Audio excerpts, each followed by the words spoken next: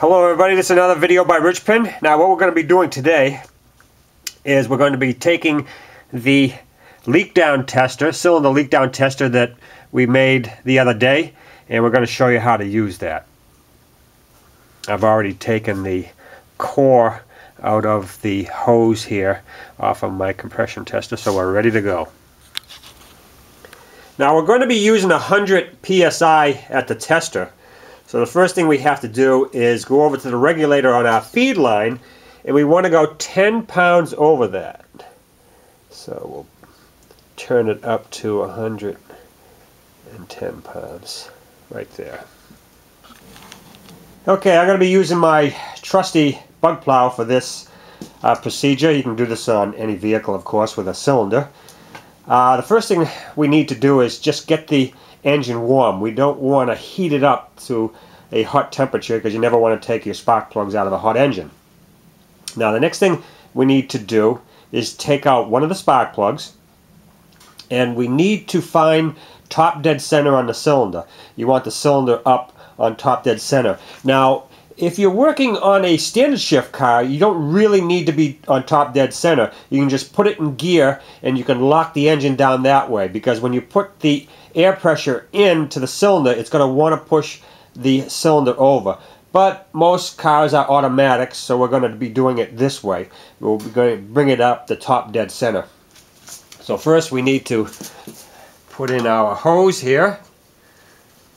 Already taken out the spark plug.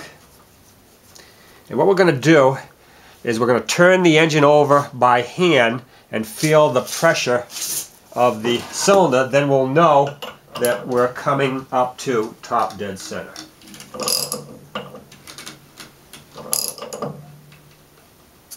Okay, right there I feel the pressure. Next thing you want to do is remove that hose and I'm going to be inserting a wooden dowel in through the spark plug hose so I can know when the piston's exactly on top dead center. Now I'm going to rotate the engine. Look at the dowel. It's moving, it's moving. It went past a little bit. Right there. Piston should be right at the top of its stroke. Okay, now we can put the hose in.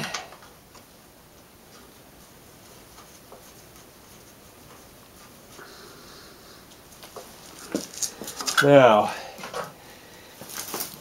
we want our regulator backed all the way counterclockwise before we put our air on.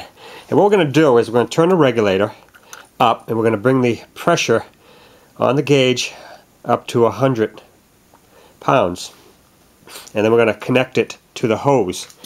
And what we're looking for is we're hopefully we want to see no more than 10% leakage. So if it goes down to 90 psi, that would be 10%. So that's what we're looking for.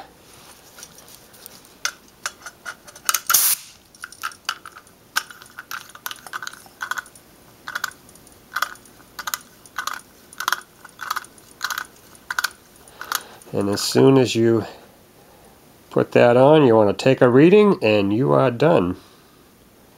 Okay, we're up to 100 psi. Let's see what happens.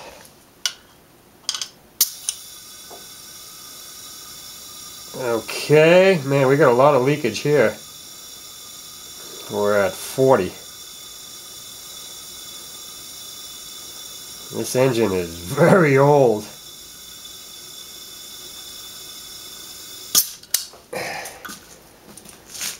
Okay, let's try that again. Make sure the reading was correct. Alright, needle went down and it came back up. Now it's stabilizing at 40 psi.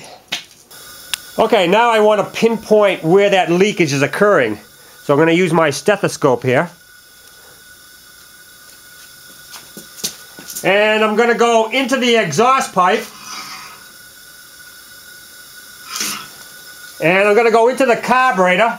Or you can go into your throttle body if you have it. And I'm going to take out the dipstick. Check there.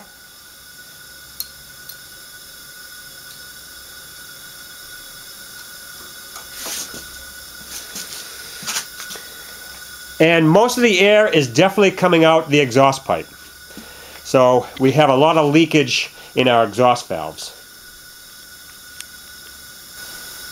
And you can also check the coolant. Take the cap off the coolant and see if you you're having bubbles coming in the coolant and that would suggest that you have a problem most likely with the head gasket. So 40 psi would be 60% leakage. That is not very good. But you got to take into account this Volkswagen is like a 74. They never had any real head gaskets on them. And of course we're probably leaking by the valves, the rings. So anyways, that is the leak down test. So that's all there is to doing a leak down test on your automotive engine.